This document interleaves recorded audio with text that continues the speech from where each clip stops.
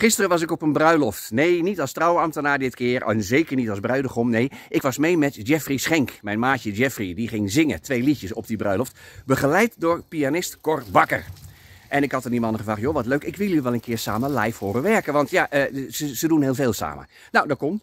Jeffrey had ik natuurlijk als live horen zingen. Hij zat namelijk in die beruchte laatste aflevering van The Voice. Hij zong daar en ik was daar te gast. En Cor Bakker, nou, die ken ik geloof ik al 30 jaar.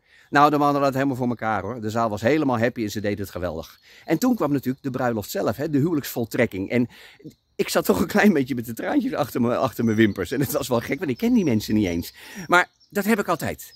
Weet je, ik heb een ontzettende rothekel aan die emo-tv-programma's waar zo op je gevoel gespeeld wordt. Weet je, daar hou ik helemaal niet van. Maar verdomd, er kan nog niet een kerel op zijn knieën gaan voor zijn meisje of de onderlip begint te bibberen bij mij. Ik ben een watje wat dat betreft. Wat vrij lastig is als je trouwambtenaar bent. Want ja, kijk, die emotie die mag je natuurlijk voelen, dat is helemaal het probleem niet. Maar in die positie word je toch wel verondersteld dat in de hand houden. Nou, dat lukt me ook wel, maar ik moet er wel moeite voor doen.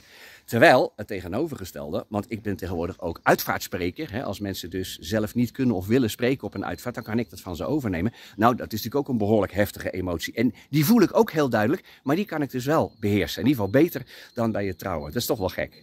Maar ja, jongens, de uiterste van emotie en daar dan je werk van mogen maken, dat is toch wel bijzonder hoor.